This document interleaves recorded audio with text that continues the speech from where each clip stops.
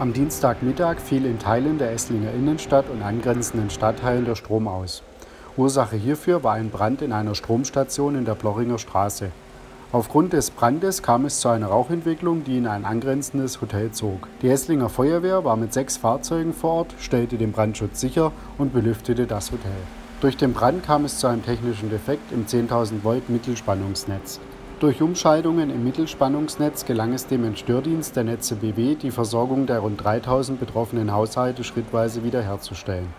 Ab 12.15 Uhr waren dann alle Haushalte wieder versorgt.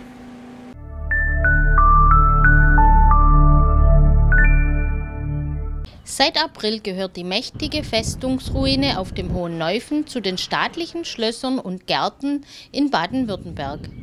Michael Hörmann, der Geschäftsführer der staatlichen Schlösser und Gärten Baden-Württemberg, gab am heutigen Dienstag einen ersten Einblick in die Planungen. Zunächst soll sich für den Besucher gar nichts ändern. Er soll weiterhin das faszinierende Angebot der Familie Vetter genießen können können. Was wir aber dann machen werden, ist das Vermittlungsangebot zu verstärken. Wir wollen die, äh, die Festung Hohenneufen noch stärker als Erlebnis- und Freizeitort positionieren. Stellen Sie sich vor, Sie kommen hierher und es ist eine spannende Kunstausstellung mit Exponaten im Freien. Oder es gibt eine Lesung. Oder es gibt ein Märchenfest für Kinder.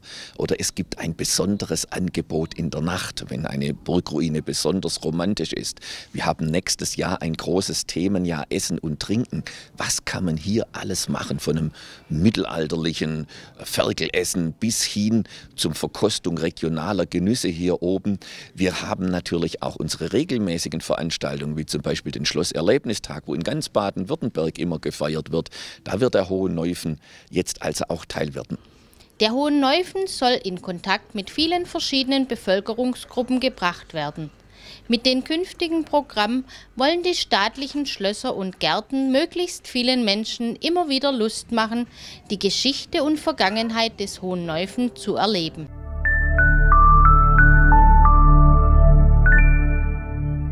Der Esslinger Stadtteil Weil bekommt eine Multifunktionshalle. Die im Jahr 1972 erbaute Halle soll zukünftig mehr als nur eine Sporthalle sein. In den nächsten anderthalb Jahren umgebaut wird zur Multifunktionshalle, eine Dreifeldsporthalle mit großem Tribünenbereich, voll energetisch saniert. Wir sparen die Hälfte der Energie ein dabei. Es wird attraktiver, aber mindestens so wichtig, dass es ein Projekt der sozialen Stadt ist, dass die Möglichkeit gegeben ist, dass hier Gruppenarbeit stattfindet, Integrationsarbeit vielfältiger Art, dass das also einer klassischen Sporthalle der 70er Jahre wirklich eine integrative, multifunktionale Sporthalle mit Funktion darüber hinaus hier in Weilbrühl-Mettingen erneuert wird oder gebaut wird und damit auch den, die Ansprüche des Programms der sozialen Stadt eingelöst wird. Also ein guter Tag für unsere Stadt. Die Förderung durch das Bundesministerium für Umwelt, Naturschutz, Bau und Reaktorsicherheit macht diese zeitgemäße Weiterentwicklung möglich. Die zukünftige Multifunktionshalle stellt einen wichtigen Eckpfeiler des Sportparks Weil dar. Frau Rita Schwarzelühr-Sutter, parlamentarische Staatssekretärin im Bundesministerium für Umwelt, Naturschutz, Bau und Reaktorsicherheit sowie Oberbürgermeister Dr. Jürgen Zieger läuteten bei einem offiziellen Termin am Dienstagnachmittag den Start der Sanierungs- und Umbauphase ein und stellten das Projekt vor. Ich freue mich ganz besonders als Oberbürgermeister heute die Staatssekretärin begrüßen zu dürfen in Essling zum ersten Spatenstich. Äh, zur Sanierung der Sporthalle in Weil. Die Gesamtprojektkosten liegen bei 7,6 Millionen Euro.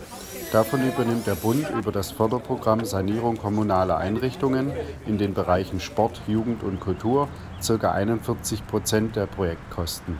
Das heißt rund 3,2 Millionen Euro.